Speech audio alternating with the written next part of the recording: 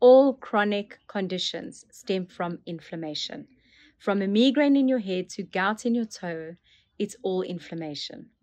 So, you've probably heard people say that a high sugar diet results in inflammation, but do you know how? When you eat a lot of sugar, you will release a lot of insulin. High levels of insulin trigger inflammation. Cytokines. So, these are proteins that are developed by your immune system to help fight off infection. They trigger inflammation. They're also triggered by high sugar. Gut flora imbalances. Your gut flora needs food to survive. It does not love a high sugar diet. You produce more harmful microbes, things like H. pylori and candida.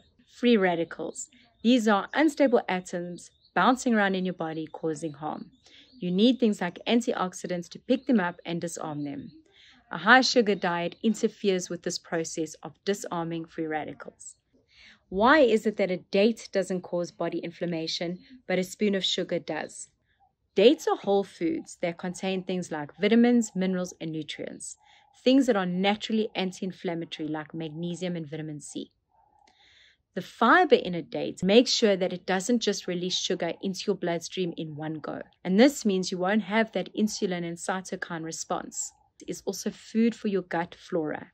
And as soon as you can feed your gut flora, everything else in your body will work better.